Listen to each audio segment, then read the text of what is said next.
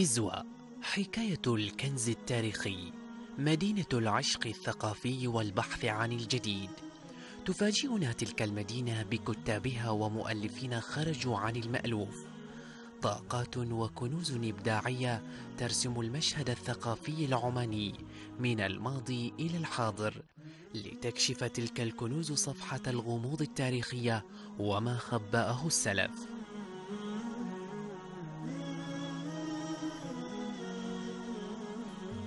الباحث محمد بن عبد الله السيفي كشف بعضا من غموضها بالبحث والتنقيب عن المجهول من المصدر وتوثيقه بأسلوب الحكايات الوعظية والحكم التاريخية التي رويت عن أسلاف العمانيين.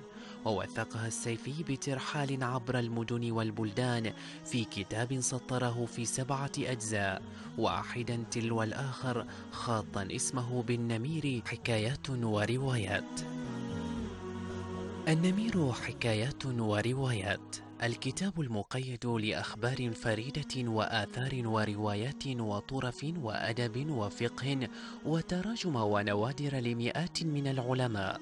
استعان جامعه ومحققه في تأليفه بعدد من رسائل المؤرخين وبعضا من المخطوطات. سبب اختيار هذا النوع من التأليف الموجود في كتاب النمير حكايات وروايات مراعاة أحوال المجتمع المختلفة من ذكور وإناث وصغار وكبار وواسع الثقافة وقليل الثقافة بحيث يجد كل واحد منهم نهمه في المعلومات الموجودة في هذا الكتاب. ثانيا سرعة الوصول إلى المعلومة. فهذا الكتاب لا يسرد الوقائع ولا يطنب في ذكرها. وإنما هو عبارة عن مقتطفات وشذرات سريعة الفائدة وسريعة المنفعة بحيث يجد كل قارئ وكل مطالع ما يحتاج إليه من المعارف والفوائد والثمار بل يجد الشخص المتخصص نهمه في بعض المعلومات والمعارف التي لا توجد في مظانها. الأمر الثالث سرعة الوصول إلى المعلومة. فهذا النوع من التأليف يسرد فيه المؤلف والكاتب كثيرا من المراجع المتعددة والمختلفة التي لا تتوفر للباحثين ويصعب الوصول إليها. فهناك الوثائق وهناك المراسلات وهناك المخطوطات وهناك التتبع الميداني وهناك المقابلات المتعددة والمختلفة التي تختزل في هذا النوع من التأليف. الأمر الرابع في هذا التأليف الميسر البسيط الذي يعتمد على اقتباس الشذرات المتفرقة والمختلفة آفاق رحبة واسعة. فيجد الباحثون ويجد المهتمون ويجد المثقفون في رسالة واحدة ما يستطيعون أن يعبروا عنها بمؤلف مستقل. وقد ذكر عددا من الكتاب أن مختارات سلسلة كتاب النمير حكايات وروايات جاءت شبيهة بما في ذلك مختارات كتاب الأغاني للأصفهاني وكتاب الحيوان للجاحظ والعقد الفريد لابن عبد ربه التي يعود إليها الأدب العربي لما تضمه من موسوعات فريدة. النمط الذي اعتمدته في كتاب النمير حكايات وروايات لا يعتمد على السرد الزماني ولا على السرد المكاني ولا يعتمد كذلك في تسلسل الأحداث على حسب الوقائع وعلى حسب الأزمنة. فنجد في الصفحة الواحدة حدث في القرن الثاني الهجري وفي نفس الصفحة نجد حدثا في القرن التاسع أو العاشر الهجري. المعلومات نجدها تتشابك تشابكا كبيرا.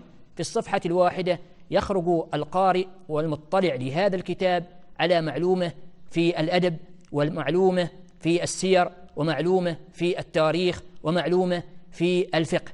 وهذا التأليف كان معروفا من قديم الزمان من القرن الثالث الهجري وله مؤلفات كثيرة منها كتاب عيون الأخبار لابن قتيبة وكتاب البيان والتبيين للجاحظ وكتاب الكامل لأبي العباس المبرد. كما ظهرت كتب عمانية تسير على هذا النمط وعلى هذا السياق منها كتاب شفاء القلوب للشيخ خميس بن راشد العبري وكتاب الزمرد الفائق في الأدب الرائق للشيخ محمد بن راشد الخصيبي. وقد قال الشعراء متغنون بالنمير لما يعود عليه الأدب حاويا نظم عقود رصعت مع آداب وفقه باهر أيها الضامي رد من يمه وشربا من مائه العذب تجد. يا نميرا طاب ريا عذبه. من علوم مع أحكام غرر. وتواريخ لأعلام تسر. سلسبيلا ورحيقا مبتكر. ما يسر القلب أو يجلو الكدر. وحلا وردا لمرتاد صدر. ونقيضا لما جاء في الأجزاء الأولى من السلسلة. إلى أن السيف فاجأ الجميع بالجزء السادس والذي جاب فيه زنجبار باحثا عن الأدب العماني ومؤرخا له.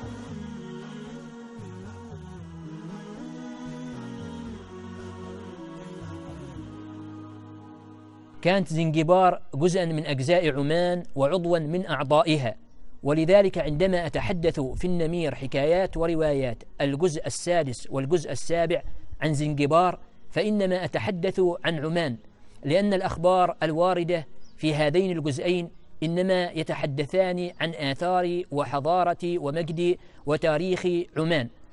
ويعجبني قول الشاعر أبي وسيم الإزكوي حينما يصف زنجبار آثرتها حين نادتني على وطني دار صفى حسنها في السر والعلن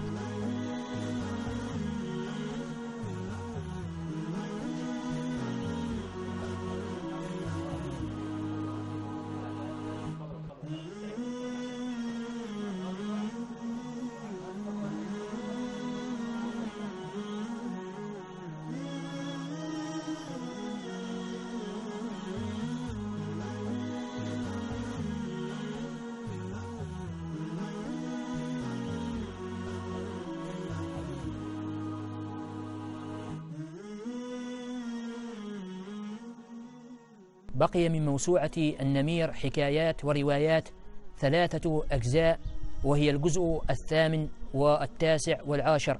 أما الجزء الثامن فالكتابة فيه. ويتحدثان الثامن والتاسع عن الإباضية في بلاد المغرب الإسلامي ويشمل جزيرة جربة في تونس وجبل نفوسة في ليبيا ووادي ميزاب في الجزائر. أما الجزء العاشر فهو يتحدث عن الإباضية في اليمن وفي الهند وخراسان وبلاد السند. أما عن مستقبل الكتاب والأشياء التي أتمناها في هذا الكتاب أو الموسوعة المسماة بالنمير حكايات وروايات هذه الموسوعة لا تحتاج إلى دعم معنوي فهو موجود بحمد الله ومتوفر وكذلك الهمة موجودة بحمد الله وكذلك المواد العلمية متاحة بكثرة وإنما تعاني هذه الموسوعة من الدعم المادي. فموسوعة بهذا الحجم البالغ عشرة أجزاء هي بحاجة إلى دعم مادي قوي حتى تنتشر في كافة الأرجاء وحتى تصل إلى كافة الأماكن لا سيما وأنها تحتوي على كم من زاخر من المعلومات والفوائد والمنافع التي تتحدث عن تاريخ عمان وأهل عمان. ما أجمل أن يثور الأدب ويثور أصحابه لترسيخ مجد الأدب العماني وحضارته والأدب العربي وحضاراته.